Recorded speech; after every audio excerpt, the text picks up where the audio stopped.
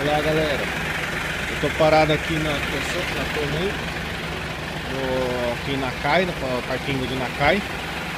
Vai vir pegar umas coisas de água. E olha que tem aqui, ó, um carro abandonado. Eles colocaram aqui um, um aviso, né? Deve estar tá pedindo para retirar esse carro. Mas é. Largaram aqui, ó um queijo doce, é uma piruinha.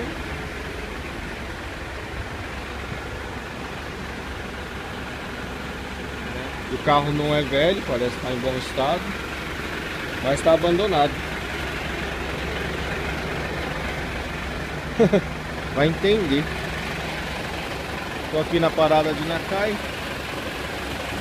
Bastante caminhões aqui parados, pessoal dormindo, muitos esperando chegar à meia-noite, para poder, perto da meia-noite, para poder pegar o desconto da pessoa. E eu vou seguir viagem agora. Para Saitama. Meu bate e volta de todo dia. São 21 e 42 Tá meio desfocado.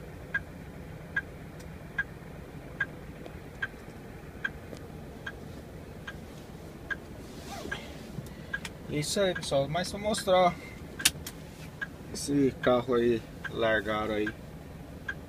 Mas tem muitas vezes em outros lugares também vejo o carro abandonado. Não sei o motivo que tá, tá aí. O selo da renovação da...